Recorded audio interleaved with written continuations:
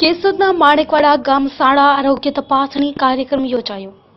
જિલ્લા પંચાયતની આરોગ્ય ટીમે તપાસ કરી બાળકોમાં બીમારી, બાળકોમાં કુપોષણની તપાસ કરી. કેસોદ તાલુકાના માણેકવાડા ગામે તાલુકા શાળાના બાળકો તથા આંગણવાડીના બાળકોનું આરોગ્ય કેવું છે અને આ બાળકોમાંથી કેટલાક બાળકો બીમાર છે અને કેટલાક બાળકો કુપોષણ છે તેની તપાસ કરવામાં આવી હતી. તેમાં ત્રણસો ત્રાણું બાળકોમાંથી નેવું બાળકો ખામીયુક્ત જણાતા અઠ્યોતેરને સ્થળ પર સારવાર તથા દસ બાળકોને ડોક્ટરી સારવાર તથા બે બાળકોને વધુ તપાસ અર્થે રિફર કરવામાં આવેલ હતા.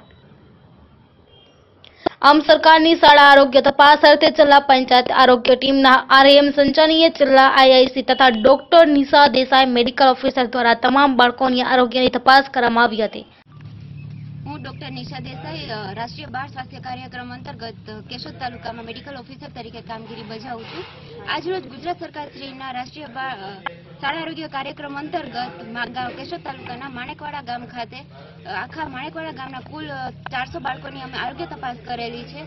જેના અંતર્ગત નેવું જેટલા બાળકો બીમારીવાળા નીકળ્યા છે અને ખામી, કે જેને નાની મોટી પાંડુરોગ, કૃમિ, દાંતનો સોડો, બીજી શરદી, ઉધરસ, કે અને અન્ય પણ તમામ પ્રકારની બીમારીઓવાળા નેવું બાળકો નીકળ્યા છે, જેમાંથી અમે બોતેર બાળકોની સ્થળ પર સારવાર કરવામાં આવેલી છે.